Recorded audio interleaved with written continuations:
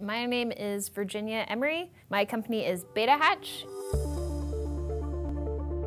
Beta Hatch is industrializing the production of insects as an alternative protein to feed animals.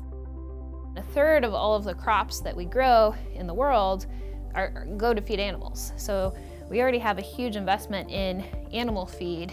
It's really unsustainable, expensive. Some of the supply chains are unpredictable.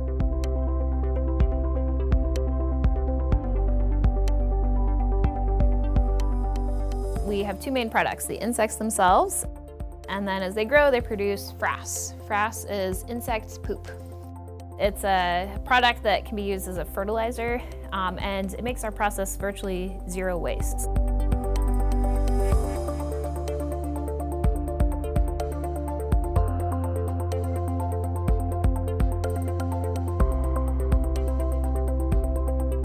With the changing climate, a lot of uncertainty around food production. We need kind of every tool that we can get. Insects are a new and innovative way to sort of disrupt some of those supply chains to create some alternatives.